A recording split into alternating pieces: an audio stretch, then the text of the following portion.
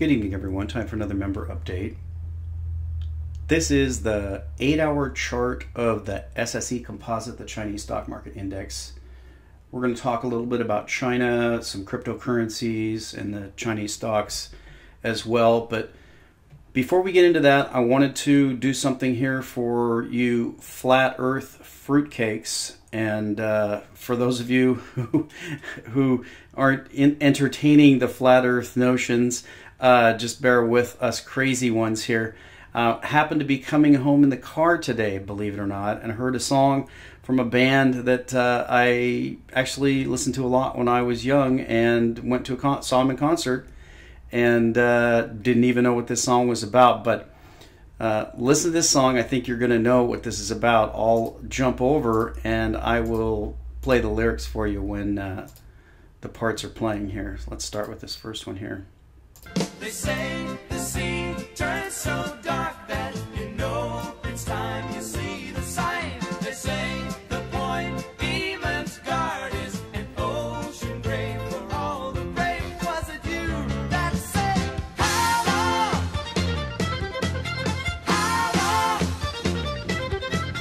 How to the point of no return? So that's an interesting cover. Let's listen to the other one here.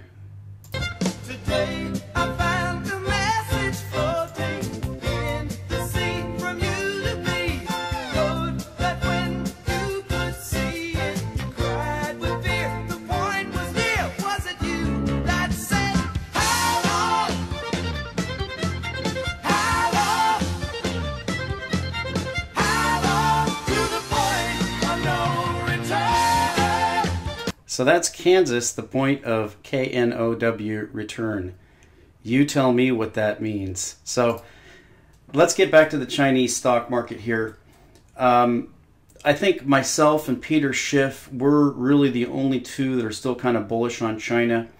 As Peter pointed out the other day, it's they just opened it up for people to be able to buy these shares, and uh, the Chinese people piled in. We know they have tremendous savings. I've talked about their real estate before. I think you need to put 30 or 40% down. Um, you know, they have trillions of dollars in foreign exchange reserves. The Chinese, I think they save 30 or 40% of their income. It's something that's totally ridiculous. So I, have said for a long time, I don't think this bull market's over. I think it's going to go to 40 or 50,000. I may be totally wrong. And uh, this thing could completely collapse and just that's the depression. But I don't think so.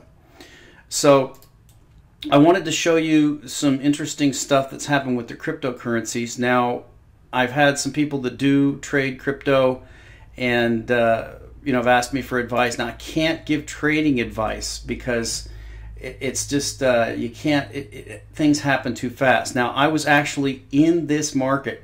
This was uh, a very interesting thing because uh, I was trading Namecoin and Litecoin and uh, uh, some other ones, but the one, the primary ones that were making a move on BTC-E were were uh, Namecoin and Litecoin, and I actually uh, was trading at night, and I had to go to bed, and so I was long Litecoin. I was long uh, a lot of Litecoin, and I, I wasn't willing to sleep on it overnight, and so I had to make the decision. All right what do I want to sleep on? Do I want to sleep on Bitcoin or do I want to sleep on dollars? Because on the BTCE exchange, you can sell for either one. And I didn't, I, have never really traded in dollars and I don't like to trade in dollars. One of the reasons is because then know your customer rules start to apply and I, I'm not, I don't want, want to be involved with the regulations. So I try to stick to crypto and crypto for crypto sort of thing. So that was why I decided to go ahead and, cash out all of my Litecoins and go into Bitcoins. And so I got into Bitcoins about 285. I wake up the next morning and Bitcoin's at like 292 and Litecoin has been cut in half even more. So I actually went long, 100% long, down around in here and doubled the number of Litecoins that I have. So now I'm 100% long in Litecoin. So that's very interesting. But I wanted to show you on the cryptocurrency uh, charts here, the volume charts. Now, I just opened a Bitfinex account. And for those of you who don't have Bitfinex, uh, I did not know this. I just found this out when I opened the account that you can short uh, and trade on margin. I'm not sure how they do it. I'm not sure how the mechanism works. Actually traded, actually sent a half a Bitcoin over to Bitfinex to open my account. And again, the same rules apply there. Know your customer limitations. They want to know who you are. They didn't care who I was if I was sending Bitcoin. But if I want to get involved in dollars, then they want to know who I am. So I'm not going to get involved in dollars. Uh, but I did open a margin account there and I did do some test trades. I went ahead and tried to buy Litecoins on margin low. I bought 100 Litecoins with a half a Bitcoin. So that was like five times margin. Uh, just watched it trade a little bit, turned around liquidated. But uh, that does give you the ability to go short. So I'm not really sure if uh, how much of the sell off could have been kind of a derivatives based thing. I don't know. Now, the other thing is the volume of the exchanges that are coming out of China. Uh, you can't see it here, but I know that uh, the BTC 38, OKCoin, BTC China, uh, and this uh, Huobi, uh, th- these are all Chinese exchanges. I-, I think that the Chinese make up about 90% of the volume in the the cryptocurrencies now, which is absolutely amazing. This, this is a graphical uh, image of what the trading volumes are like. Um, I think that I'm not sure which exchange this is. I think this is probably, um, well, I don't know. But anyway, a couple that stand out here. You can see Litecoin China. See that? Litecoin, uh, the the Chinese yuan is actually twice the trading size of Bitcoin. Uh, Litecoin Chinese yuan as big as Bitcoin US dollar on this exchange. Big stuff happening in China. So I'm very bullish on Litecoin from here. Yes, it's had a tremendous move up, but you have to remember where it came from. Looking out on the long, long term, uh, Litecoin was all the way up at 50 bucks. So uh, I feel very comfortable piling in at around four bucks, and uh, I, I probably could get an easy double from here. So that's what's going on with the cryptos. Now, I wanted to connect this to the China story because I found this story uh, on one of the message boards and I haven't seen anybody else cover this. And this is really, really interesting take on that shutdown that they had. And uh, this connects what happened in China to what happened in the US. So I'm going to go ahead and read this. China's stocks and the New York Stock Exchange shut down the untold story. Yesterday, beginning at 11:32 a.m. and for the next 3 hours and 40 minutes, the iconic New York Stock Exchange shuttered trading in all of its listed securities. The exchange said it had experienced an internal glitch. Unknown to most Americans, some of those shuttered stocks on the New York Stock Exchange were Chinese stocks and among the largest capitalized companies in the world. More than 100 Chinese companies trade on U.S. stock exchanges as, an Amer- as American Depository Receipts, ADRs. And almost 200 Chinese company ADRs trade over the counter in the U.S. Individual shares are referred to as ADS, American Depository Shares. Last year, Thomson Reuters estimated the market value of Chinese companies listed on the, just the New York Stock Exchange and NASDAQ stock market at more than $1.4 trillion. With the Chinese stock market rupturing over the past week and trading in more than a thousand stocks suspended in China, the spillover has hit the U.S. market hard.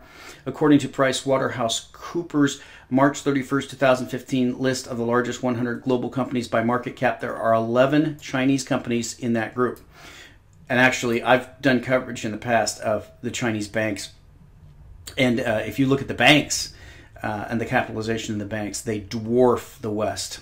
We took a look at trading in just two of those names yesterday China Mobile and China Life Insurance, both of which trade as ADRs in the New York Stock Exchange. We looked at how China Mobile and China Life Insurance traded before, during, and after the New York Stock Exchange halted trading on all its securities. An interesting pattern emerged. See the charts below. After volume spikes in the morning prior to the trading halt by the exchanges, volume was subdued during the hours the exchange remained closed. Other trading venues are supposed to pick up the slack when an exchange goes dark. Then volume picked up again when the exchange reopened. China Mobile, symbol CHL, closed down 5.38% yesterday, while China Life Insurance, symbol LTR, dropped 6.65% in New York trading. If Wall Street firms are, were afraid of roiling Chinese stocks further with huge volume and panic selling in the U.S., the subdued volume during the three hour and 40 minute halt at the New York Stock Exchange came in handy.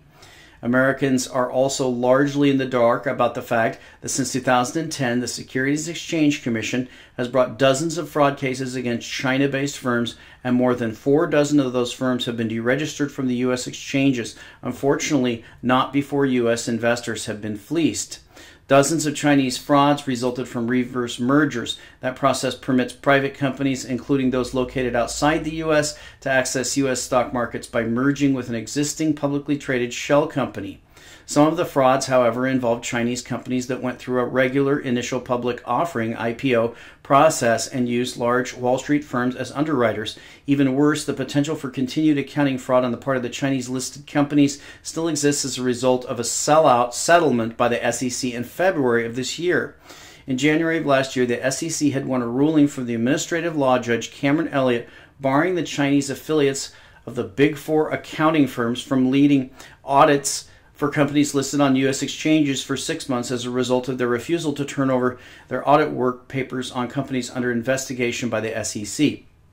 The accounting firms had argued that they had to refuse turning over the documents in order to avoid violating state secrecy laws in China. The accounting firms involved were, and here you've got the regular ones uh, Deloitte and Touche Toilet, Toilet and Douche.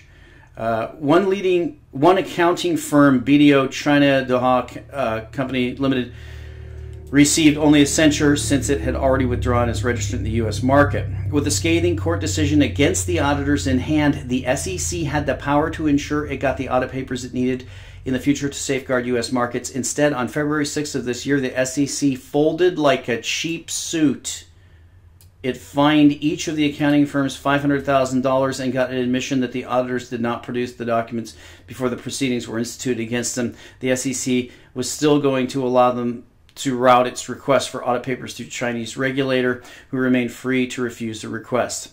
The Wall Street Journal's editorial page, typically a Wall Street sycophant, headlined with the SEC caves on China. The editors wrote The SEC commissioners decided this month not to suspend the Chinese audit firms or penalize them beyond the token fines of $500,000, less than an average partner's salary. In return, the firms agreed to follow certain procedures for conveying audit information to the SEC through Chinese state regulators. Yet, Chinese authorities aren't even a party to the settlement, so they remain as free as ever to stymie future investigations. The editors added The upshot is that investors in U.S. capital markets still lack basic protections against Chinese fraudsters. For once, we completely agree with the editorial page of the Wall Street Journal. And here's the charts. So that's a very, very interesting take. Uh, do we are we now seeing the Chinese tail wagging the U.S. dog? Is is that what's going on? Do we have a reverse China syndrome? You remember the movie China Syndrome? Where uh, the nuclear reactor is going to melt down and go through. Oh, that's right, the spinning ball Earth to the other side um, and uh, go all the way through to China, or is it China going all the way through and controlling the U.S.? So very interesting stuff going on. It very well could be that China is calling the shots. If if you remember on the web page actually if you've gone to my blog recently let's jump over there real quick silver for the people. Uh, there's a quote here from bill holter and uh, he pretty much hints at the fact that he thinks it's probably china that's behind this and this is the quote of the day that's up there. Quote there is no market anywhere on the planet where the amounts of futures dwarf the physical product so overwhelmingly than in silver why is silver so important? Why has it been bludgeoned so badly and even priced below the cost of production? You must understand how small the silver market is. Total global production is less than $15 billion per year, but silver cannot be left alone because high silver prices do not jibe with low gold prices, and gold must be kept down and out of the limelight because high gold prices do not fit with low interest rates, which are an absolute must in an effort of reflation. You see, in no way can interest rates be allowed to rise with the amount of global debt outstanding. Higher interest rates will crush the debt outstanding, but the silver market is at the very beginning of the food chain. That keeps the lid on interest rates. I believe the Chinese hold this market in their back pocket, paid for with pocket change. They will use it at their own discretion. That's Bill Holter. So it looks like there's some evidence, more evidence now, that it might be the Chinese calling the shots, even to the extent of the Chinese requesting that the New York Stock Exchange put a halt to stop the slide in the Chinese ADRs. So that's very interesting, some kind of China syndrome. And we'll talk to you next time.